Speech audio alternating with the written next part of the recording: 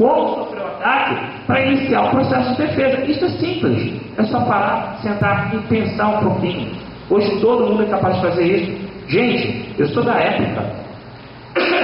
Essa cara de moleque, mas eu tenho 31 anos de idade. Eu sou da época que você tinha que comprar carta. Tinha que ler enciclopédia. Hoje é tudo Wikipedia, é tudo no Google, é tudo no YouTube. É ridículo. E o pessoal tem preguiça. Eu, tenho, tinha um chefe meu, o Daniel, que vivia me zoando, porque ele fala: você tem mania de comprar coisa antiga que é livro. Hoje é verdade. Eu tenho aqui meu, meu iPad e todos os livros que eu tenho na minha, biblioteca, na minha biblioteca estão aqui, tirando os livros em português que a gente está demorando muito ainda para digitalizar. Mas a velocidade quanto ao acesso da informação é impressionante. Eu mesmo já comecei uma baita de uma cagada. Eu tinha um blog, tinha saído uma vulnerabilidade por WordPress, que eu não tinha analisado corretamente, e ano passado meu blog foi invadido por um dos maiores eventos de hacker. Eu virei chacota de todo mundo. Todo mundo me zoando, ah, você foi trollado, ah, seu blog foi hackeado porque tinha vulnerabilidade. Falei, ah, legal, foi bom. Parabéns. Aí a gente foi lá, analisou a vulnerabilidade e resolvemos o problema. E hoje a gente tem uma infraestrutura. Uma das coisas que eu falo mais importante para a galera é: você trabalha com TI? Trabalho. Ah, você é sênior? Sou. Ah, então tá bom. Quantas merdas você já fez? Quantas merdas você já é, resolveu?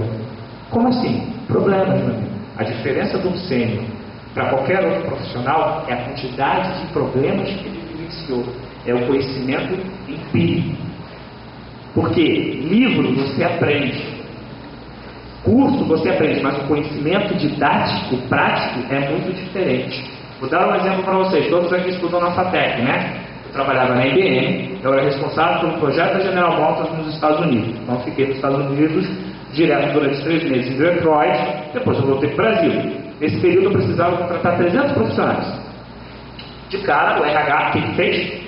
Né? Fez a seleção dos profissionais todos cursando Unicamp, Poli, PUC, USP. Estava com um auditório lotado, assim, um auditório de 300 pessoas entrevistando um.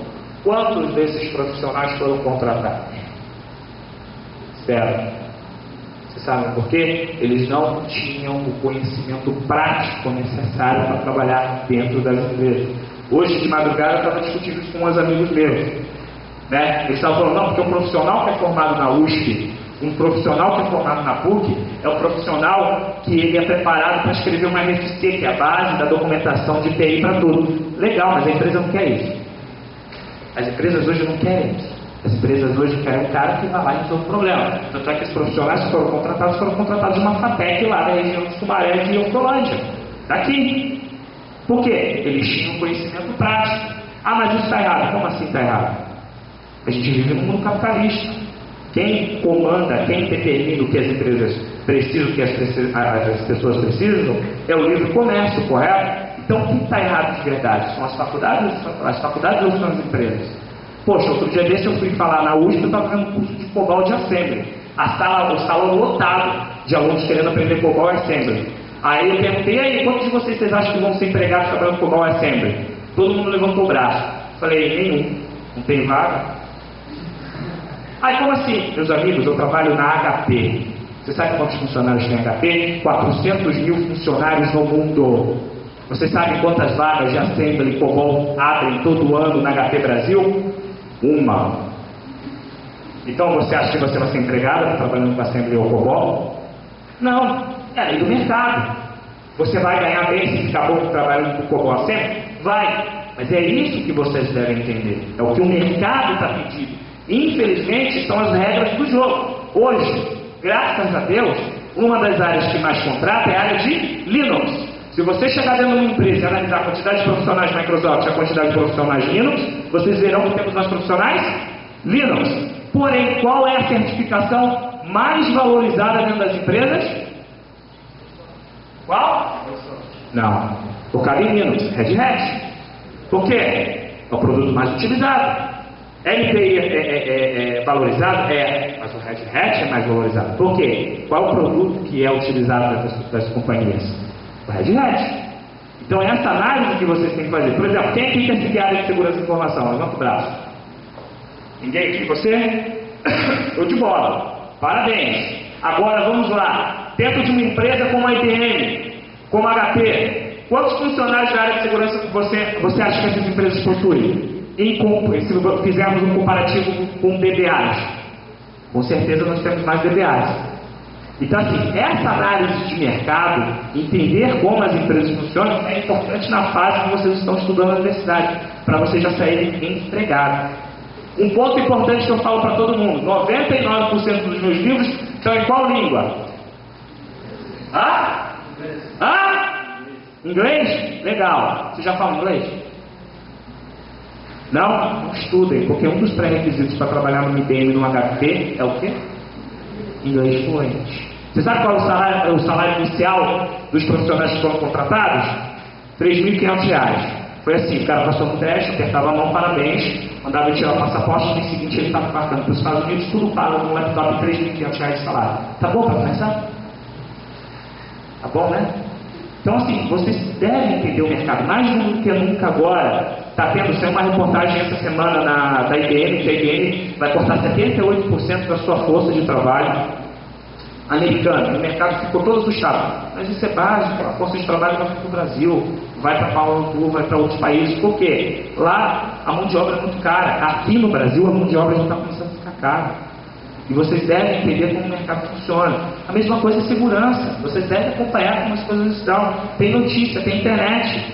Então, uma das coisas, focando de novo em segurança, que a gente vê é entender primeiro como funciona o mundo. Vocês têm ideia? Outro dia desse teve um amigo meu que chegou para mim, tiveram dois casos bem interessantes, um aqui em Dayatuba e outro num, em Limeira. Em Dayatuba veio o, o pai de um, de um, menino, o pai dele tem uma condição financeira muito boa, e falou para mim, Gustavo, eu quero que meu filho se torne o melhor profissional de segurança e formação do Brasil. Se é possível? Eu falei, é. Quanto eu vou gastar? 70 mil dólares. Hein? É, 70 mil dólares. Por quê? Seu filho fará todos os cursos da SANS, sans.org, que é uma das melhores, ou melhor instituto de tecnologia aplicada em segurança do mundo cara fazendo todos os cursos lá e tirando certificações, ele com certeza se tornaram um dos melhores profissionais do mercado. Porque ele tem dinheiro, tem que estudar. Aí vem o outro, aí se ele quiser estudar e quiser ganhar muito dinheiro simples, ele fala com um camarada, um lá de Mineira que ele ganha 120 mil reais por mês. Por semana, na verdade. Como? Ele é banker. Ele rouba os dados bancários das pessoas, baseado nesse roubo, ele chega e furta o dinheiro das contas bancárias. Porra, tá, ele ganha tudo isso. É, mas no dia que a polícia pegar o cara, tá ferrado, né? Vale a pena? Então, assim, é uma coisa que vocês devem entender, devem saber. Hoje, hackear, craquear, invadir sistemas se tornou uma coisa fácil e simples. No Brasil mesmo, a gente está com a maioria dos, dos maiores, a gente está com maiores é, bancas do mercado, a parte de spam. Vocês terem ideia, na Ucrânia, eu estive na Ucrânia, estive na China, estive na, em toda a parte do leste europeu, a maior concentração de hackers com conhecimento avançado de CSM ficam por lá, porque os governos de lá investem nesses caras. Na China e no Irã, os, governos investem na formação de profissionais com conhecimento de segurança e informação para atacar os seus inimigos e para se defenderem. Outro dia desse eu fiz um post no meu blog que o, que o governo brasileiro gastou 10 milhões de reais em, em segurança da informação. Eles compraram antivírus pra caramba para defender o, o, território nacional e compraram um software brasileiro também para fazer testes de segurança. É piada. A gente não tem ainda infraestrutura e preparo técnico, principalmente das nossas forças armadas, do nosso poder público, para defender. Por quê? As empresas, a maioria das empresas não estão preparadas. Quanto mais o exército que vive morrendo de fome, né? não tem nem dinheiro para almoçar. Pô, é piada. Então, entender como funciona o mercado, acompanhar a evolução é importante. Leis, vou dar um exemplo para vocês. Quem soube aqui dos últimos ataques aos bancos? Vocês souberam, né? O cara que derrubou a Caixa Econômica Federal, o Banco do Brasil, Santander, palestrou no meu último evento. O Alan Sanches. Foi ele que derrubou. Estava lá palestrando. Amigo meu. Brother. E aí você vai falar, pô, cara não foi preso? Não, não tem lei contra ataque de DOS? Tem lei contra ataque de DOS? Não. Você vai preso? Não. Se você pichar um site, for lá e falar, ah, a, a mulher do chefe eu estou pegando, e botar lá a foto da mulher do chefe, você é preso? Não. Agora, se você fizer um roubo referente à parte de dados, se aproveitar desses dados para fazer alguma falcatrua financeira, aí você é preso, porque tem lei. Roubar é, é, senhas de cartão de crédito, número de cartão de crédito aquele é somente. Então, assim, hoje há uma impunidade entre o mercado de segurança de informação, dentro do mercado de segurança de informação, principalmente entre hackers e, e principalmente entre crackers. Isso é engraçado. É, eu vejo advogados falando, citando casos, citando casos, citando casos, mas no final não vejo ninguém sendo preso. Né? É aquela coisa assim mística, né? só para inglês ver no final das contas. Bem diferente da era Fernando Henrique, que acho que não sei se vocês vão lembrar, vocês também eram muito novos, mas teve também uma série de ataques na época do Fernando Henrique, mas o Fernando Henrique mandou a Polícia Federal bater na casa dos carinhos e prender os carinhos. Né? Não tinha lei nem nada, mas deu uma prensa. E aí, entender como funciona o ataque, entender como funciona é, é, uma vulnerabilidade, é importante para vocês saberem o quê? Como vocês vão se defender. Como vocês vão aprender. Então, assim, toda vez que eu vou dar um curso, toda vez que eu vou dar um treinamento, eu explico para a molecada: olha, os ataques funcionam assim, assim, assado, é assim que funciona, é assim que o cara vai explorar a vulnerabilidade vai funcionar. Agora, vocês devem entender como esse cara fez todo esse processo para criar a defesa, para criar um contra-ataque. Uma das coisas mais, mais importantes que eu falo é referente a acesso externo. Né? Vou dar um exemplo.